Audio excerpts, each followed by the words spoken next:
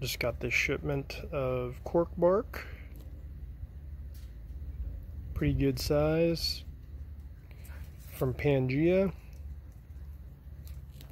And what I'm doing is I am trying to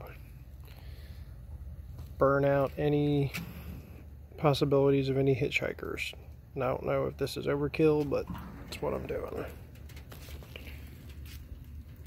Wife did not want the bark going into the oven.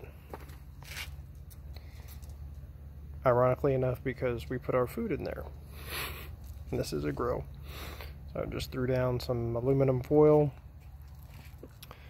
and just gonna run this around 300 to 350 for maybe 30 minutes each. Got four pieces. Uh, see how it turns out.